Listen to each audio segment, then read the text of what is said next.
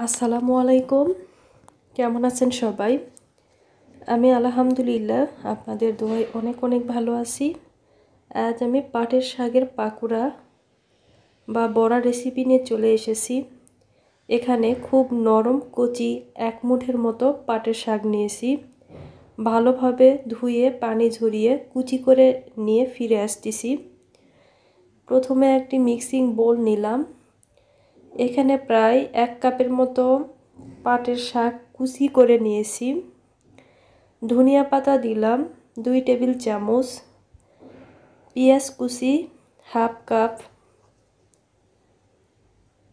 কাঁচা মরিচ পাঁচটির মতো কুচি করে দিলাম, স্বাদ মতো লবণ, হলুদের গুঁড়া, হাফ চা চামচের তিন ভাগের দুই ভাগ, মরিচের গুঁড়া, হাফ চা চামচের দুই ভাগ ধনিয়া গুঁড়া হাফ চা চামচ, গরম মশলার গুঁড়া হাফ চা চামচ। এখানে দিয়ে দিব আস্ত জিরা হাফ চা চামচের কম। এখন ভালোভাবে হাতের সাহায্যে চটকিয়ে মেখে নিতে হবে। এখানে সয়াবিন তেল দিয়ে দিচ্ছি হাফ টেবিল চামচ, এটা অপশনাল, চাইলে নাও দিতে পারেন। পাটের শাকের বড়ার রেসিপি কিন্তু এটা অনেক মুখরোচক খাবার। ইফতারিতে কিন্তু পেঁয়াজি খেতে খেতে অনেক সময় কিন্তু আমরা বোর হই, সেক্ষেত্রে কিন্তু পাটের শাকের এই পাকোড়া রেসিপিটি তৈরি করে খেতে পারি।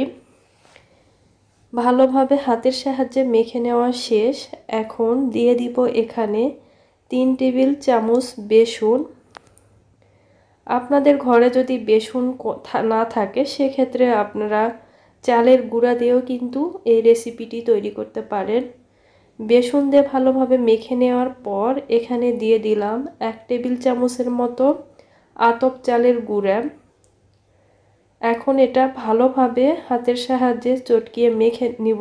আঠালো ভাব না আসা পর্যন্ত মেখে নিতে হবে।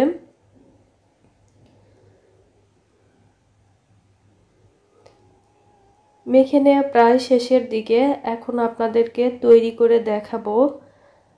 আপনারা টিকিয়া কাবাবের মতো শেপ দিতে পারেন। আপনারা আপনাদের ইচ্ছা মতো একটা শেপ দিয়ে কিন্তু এটা তৈরি করে নিতে পারেন। আমি আমার মতো করে একটা শেপ দিয়ে তৈরি করে আপনাদেরকে দেখিয়ে দিচ্ছি।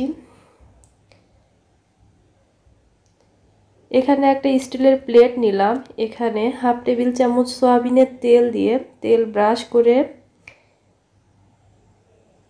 বড়াগুলো এর মধ্যে বানিয়ে রেখে দিব। এভাবে বড়াগুলো বানিয়ে ডিপ ফ্রিজে আধা ঘণ্টার মতো রেখে দিবেন। তারপরে জিপলক ব্যাগে অথবা প্লাস্টিকের বক্সে কিন্তু সংরক্ষণ করে রেখে দিতে পারেন। দুই সপ্তাহের মতো ভালো থাকবে। নিয়ে নিলাম। আবার একটি ব্যাটার বানাবো। সেই কারণে তিন টেবিল চামচ এখানে আমি ময়দা নিয়ে নিলাম। সামান্য লবণ, সামান্য হলুদের গুঁড়া দুইটি ভালোভাবে মিক্স করে একটা ব্যাটার তৈরি করব।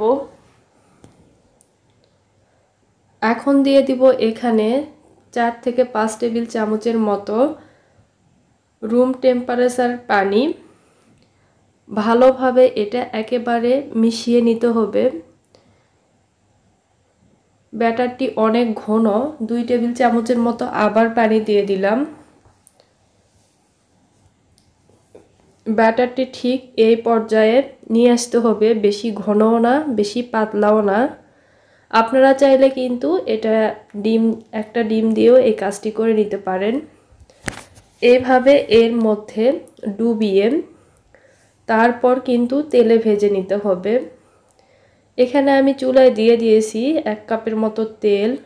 একটি দিয়ে দেখলাম তেল গরম হয়েছে কি না তেল গরম হয়েছে, বাকিগুলো এখন এভাবেই আমি ভেজে নিব।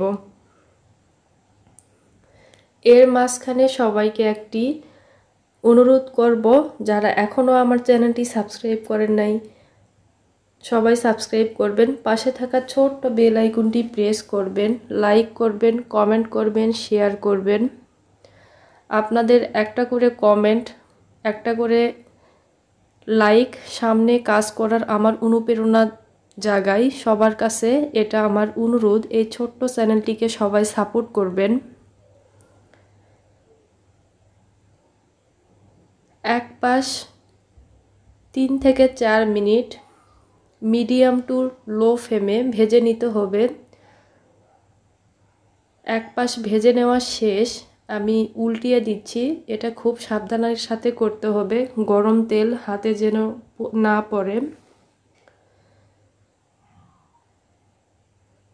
ইফতারে কিন্তু এই মজাদার রেসিপিটি আমরা চাইলে টমেটো সস দিয়েও খেতে পারি। এমনিও খেতে কিন্তু অনেক মজা গরম গরম।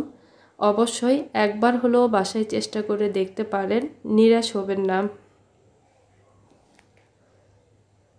এভাবেই উল্টিয়ে পাল্টিয়ে পাঁচ থেকে ছয় মিনিট তে নিলে উপরে কিন্তু হালকা লাল ব্রাউন কালার চলে আসবে। তখন কিন্তু এটা তেল থেকে উঠিয়ে নিতে হবে। এখন এগুলো তেল থেকে একটা একটা করে উঠিয়ে নিব, তারপর ফিরে আসতেছি। আজকের মতো এই পর্যন্তই, সবাই ভালো থাকবেন, সুস্থ থাকবেন। সবাইকে রমজানের শুভেচ্ছা জানিয়ে বিদায় নিচ্ছি। আল্লাহ হাফেজ।